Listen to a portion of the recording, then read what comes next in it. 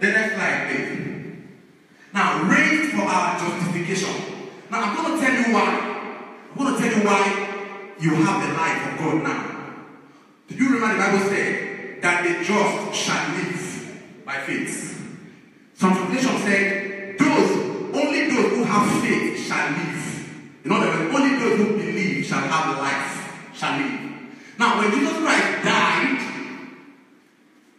what he died for was for our sins, our transgression, our trespasses. But when he rose from the dead, he rose to justify us.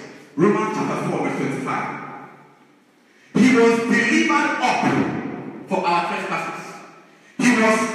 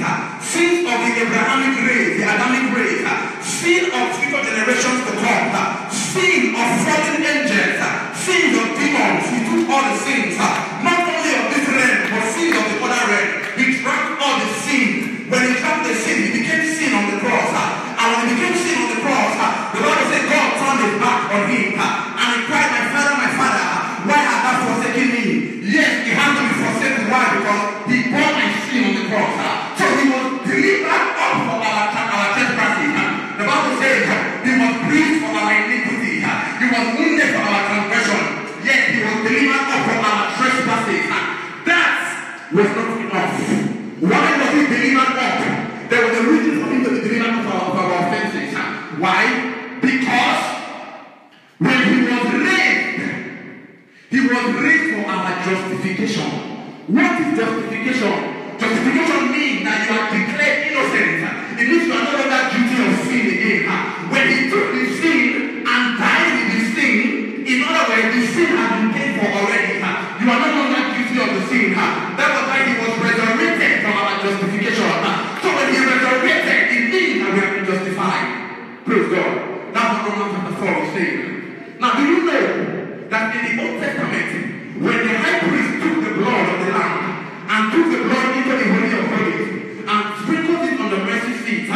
if that blood was not accepted, the high priest would die there and will not come out.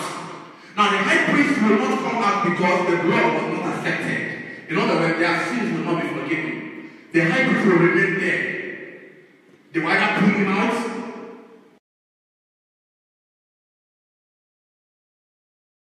forgiven, he would not have rose from the dead. On the third day, they would have gone there to the tomb and they would see him there. They would see him there. But the Bible says, on the third day, when they got there, they didn't see him there. And the end, they said, Why are you looking for the living among the dead? He has risen, as he said. Hallelujah. Now, for the fact that he rose means that we were justified. God accepted the sacrifice. Sin was forever paid for. We don't have any problem with sin again. Now, because we have been justified, now we are the just of God. We are the righteous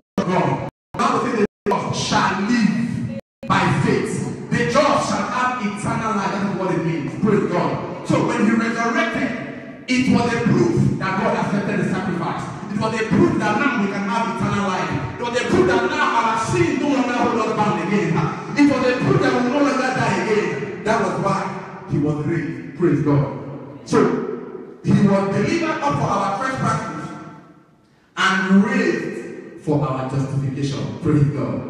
What would have happened if we were not raised on the third day? Would have still been, you know, prone to the punishment of sin. Would have been prone to death if he was not raised. But the fact that he rose is, is, is a proof that we have been justified. Hallelujah. Amen. Praise God. Now, raised to intercede for us. See, the first thing he did, he carried our sins, took it into the Holy of Holies to pay for our sins, right? The second thing he did was that he rose from the dead to show that we have been justified already. Now, the third thing he did, which is very important, look at it. He was raised to intercede for us. You know, when he resurrected, finally he ascended to heaven. What did he go to do? Why did he not remain on earth with the disciples so that we receive him every day? But the Bible said something. Romans chapter 8, verse 24. Christ Jesus is the one who died. Not only that died, more than that, who was raised. And after he was raised, what will happen with him now? Who is at the right hand of God? What is he doing there? Who indeed is interceding for us? He telling the Father that I died for this guy. I died for this lady. I died for this one. I took all of their sins and I buried it in the grave. And when I arose, I left their sins there, never to remember their sins again. So this one cannot be punished again for sin. So he interceding for us. So when he rose, he went upstairs in the heavens to intercede for us. The first thing he took our sins. The second thing he justified us. And the third thing, he's interceding for us. He's pleading with God for us. Telling God that these ones, they have my life them now. They cannot go to hell. These ones cannot die. These ones have eternal life now. Praise God. Hallelujah. The next slide. Now, one thing that believers do not understand is what I'm, I'm about to tell you now. Is the fact that the power of sin was destroyed when Jesus Christ died. And this is confusing to a lot of people because they think that once you become a Christian, the Bible says the power of sin has been destroyed, and so they think that for the believer, it is impossible for the believer to fall into sin. But I'm going to tell you what happened to sin when Jesus died in that grave, what he did to sin. The power of sin was destroyed. What is the power of sin? I'm going to tell you. Hebrews chapter 9, verse 26b. But no, he came once for all at the end the power of sin forever by dying for us. So as it stands now, sin has no power anymore. Hallelujah. Sin has no power, sin has no dominion over you again. Why? Because you are not under law but under grace. That's what we said in Romans. He said, For sin shall not have dominion over you, because you are not under law, but under grace. What does it mean? How come believers still fall into sin? If the Bible is telling us that the power of sin has been taken away, how come Christians still fall into sin? Why? Because what Jesus was saying was not that they will not fall into sin again. He was simply saying that the power, what strengthens, what gives power to sin, has been taken away. And what is it that gives power to sin? Go to the next. I don't know if I put it. Go to the next slide. Okay, go back again. Now, take note of the word. They need to put away the power of sin. And I went there, I said, sin has been destroyed. And I'm talking to you now. Sin is very weak. Sin does not have any power, no weapon at all. There was a weapon sin used to use to, you know, kill people. But this time around, that power has been taken away. I'm going to tell you what the power of sin is. The power of sin is the law, the commandments. Go, go, let go to the next slide. Let's show. Colossians chapter 2, verse 14 to 15. The power of sin and the law were destroyed when he died.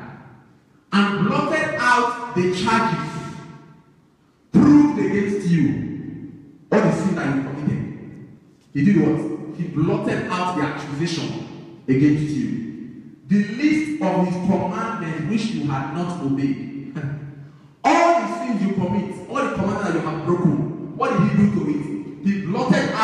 Accusation. Because what Satan used to use to accuse the believer is to say, God, look at this your commandments. This person broke it. And you said anybody that breaks your commandments will die.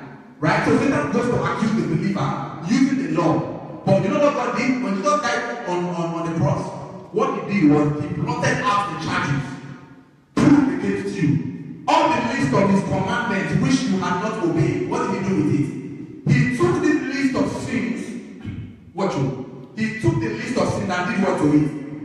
destroyed it. you don't know what I'm saying? He took the list of your sins and? And destroyed it. Destroy it. If it was the list of sin, give me a page here. Give me a page. If this was the list of sin that Satan was showing to God, he said, Ah, God, look at this. This is commandment number one. Gift broke it yesterday, so gift should be punished. Commandment number two, Cornelia broke it two days ago. Number three, Timothy broke it, so this should be punished. You know what the Bible is saying there? That Jesus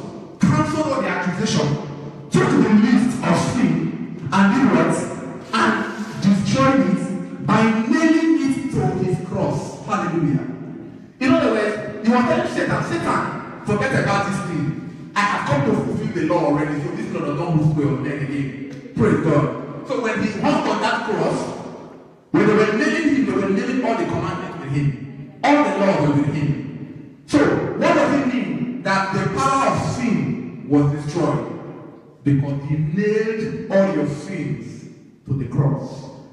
Any sin at all that you can mention, it was nailed to the cross. Why? Because what gives power to sin is commandments, the law. The Bible says that the, the sting of death is sin, and the power of sin is the law. But once Jesus did away with commandments, he did away with it, he fulfilled it. And anything that has been fulfilled does not again. It kept. It is gathering dust in the cupboard right now. So the power of sin was destroyed, and the law was destroyed. So any believer who is trying to live holy by trying to keep commandments, he doesn't know what he's doing. Why? Because the commandments have been nailed to the cross. And sin that comes breaking the commandments have been nailed to the cross already. Verse 15. In this way, God took away Satan's power. Hallelujah.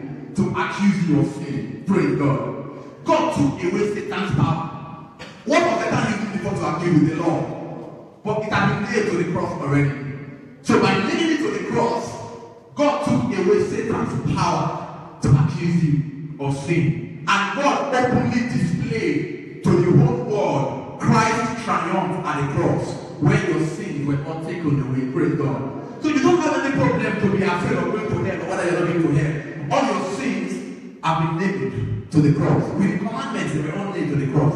And Satan's power to accuse you has been taken away. Satan has no right to accuse you anymore. No human being has the right to condemn you. For there is therefore now no condemnation to those who are in Christ Jesus.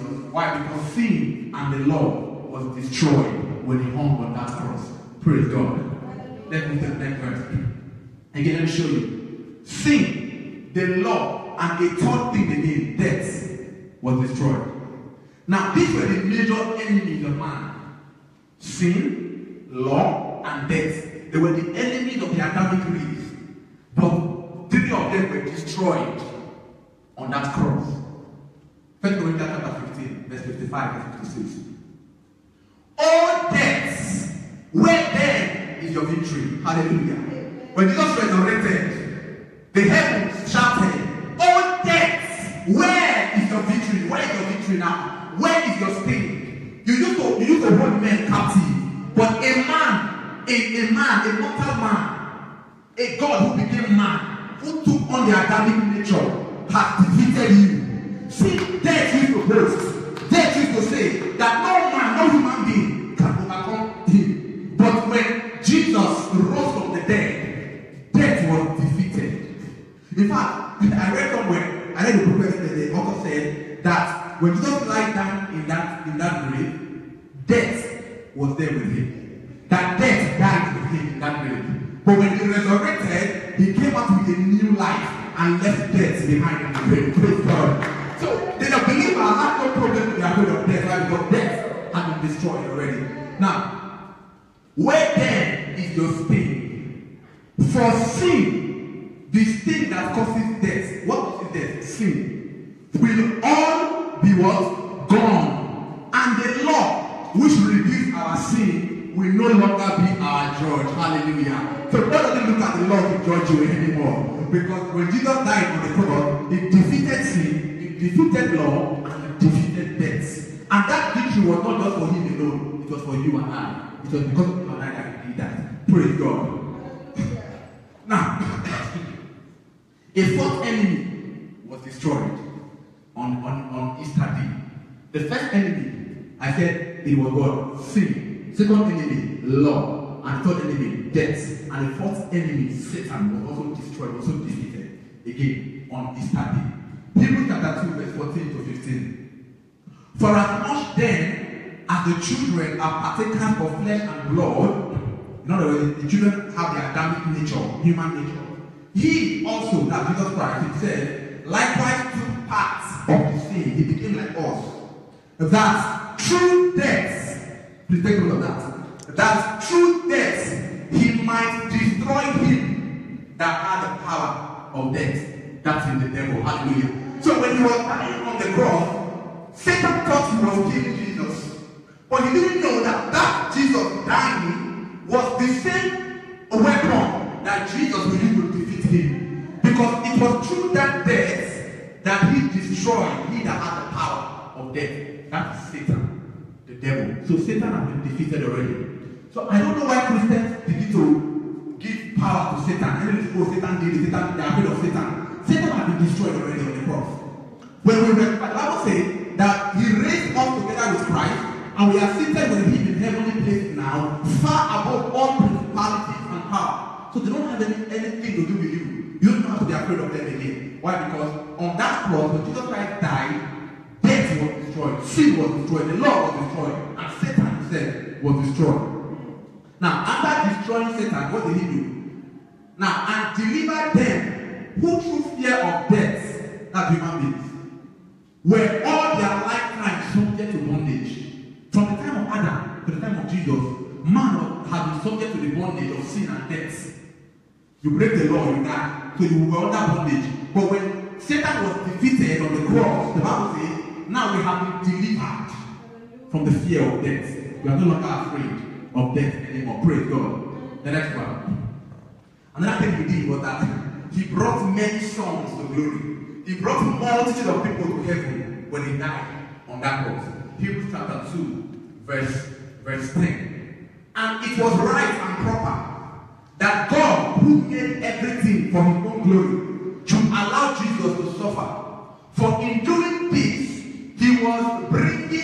vast multitude of God's people to where? To heaven. Hallelujah. So when he was dying, what he was doing, when he was suffering, he was bringing multitude of people to heaven, you and I. That's why we are seated with Christ in heavenly places already. For his suffering made Jesus a perfect leader, one fit to bring them into their salvation. So we have eternal salvation already. Isaiah 53, verse 10. But it was the Lord's good plan to bring him and fill him with grief. However, when his soul has been made an offering for sin, then he shall have multitude of children. One Jesus died multitude of people will give birth to who are seated with him in heavenly places. He shall live again on the resurrection day. That, that was on Easter day. And God's program shall prosper in his hands. What is God's program? To give eternal life to all human race. And anybody who believes that Jesus died and resurrected, such a person has that eternal life. Now we have a new life. It is called a resurrected life. It is called eternal life. Romans chapter 6, verse 4 to 5. Therefore, we are buried with him in baptism into death, that like as Christ was raised up from the dead by the glory of the Father, even so we should walk in newness of life. So now we have a new life. And this new life is the very life of God itself, because to him, the very life of God is what you and I have now. Never before has any man had the life of God. But when Jesus resurrected, when he was raised, just the way he was raised, in the same way he gave us newness of life. So I carry the life of God on my inside. This life is superior to sicknesses and diseases and sin and death. This life is the superior life. It is the very life of God. For if we have been planted together in the likeness of his death, we shall also be in the likeness of his resurrection. He resurrected with a new kind of life, the eternal life. That is what you and I have. Ephesians chapter 2, verse 4 to 6. But God loves us deeply. He is full of mercy. So he gave us new life. So he gave us life because of what Christ has done. What did he do? He died on the cross. He gave us life even when we were dead in sin. God's grace has saved you. God raised us up with Christ. You see this? He raised us up. So it was not only Jesus who resurrected on the third day, we resurrected with him also. God raised us up with Christ. He has seated us with him in his heavenly kingdom. That's because we belong to Christ Jesus. So I have a resurrected life. Now I have a new life. Now, why? Because Jesus died and rose again on the third day. So the life that I live now is an everlasting life. As I begin to round off, the Bible says in 1 John chapter 5, verse 13, I write these things to you who believe in the name of the Son of God, so that you may know that you have eternal life. So that you may know that you have eternal life. Don't begin to doubt whether you are going to hell or going to heaven. I'm saying to him now that anyone who believes in the name of Jesus has to know that he has eternal life. Go and enjoy your resurrected life. Go and enjoy your eternal life. Praise God. Hallelujah.